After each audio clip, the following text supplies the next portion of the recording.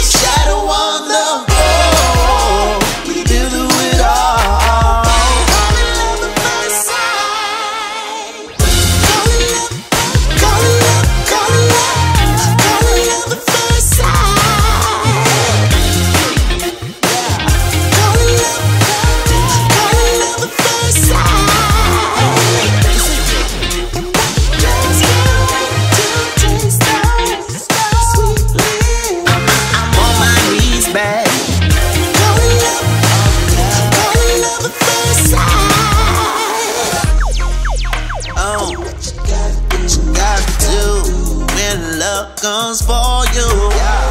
Oh. Uh.